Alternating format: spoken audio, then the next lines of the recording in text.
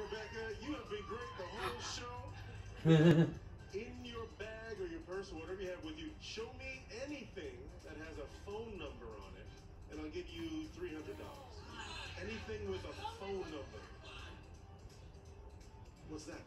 It's a free trial art class It has the number of their studio. Oh, free trial, art. and the number of the studio is on there. There you go, three hundred bucks. Let's talk to the zookeeper. Stand up for me, ma'am. Is it Molly? Hi. Molly.